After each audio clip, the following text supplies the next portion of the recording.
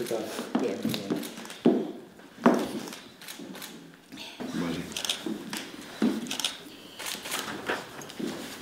Se trata de unha cesión dunha porción de terreo en Reboredo, en San Vicente do Grove, para que o Concello do Grove construa un centro social para as persoas maiores. Hacer algo que é unha demanda social tan importante non só na provincia de Pontevedra, non só en Galicia, sino en toda España,